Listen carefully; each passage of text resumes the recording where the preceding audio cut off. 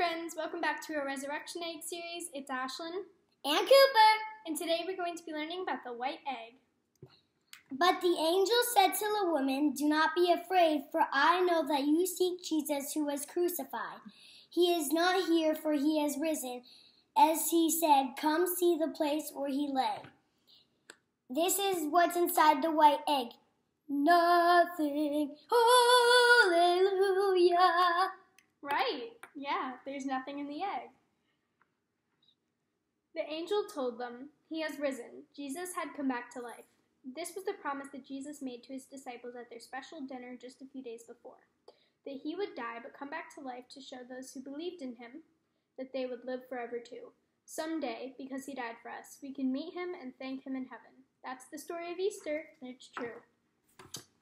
We hope you guys enjoyed listening to Resurrection Eggs and that you completed your Resurrection Egg book and had a blast doing it like we did. Happy, Happy Easter!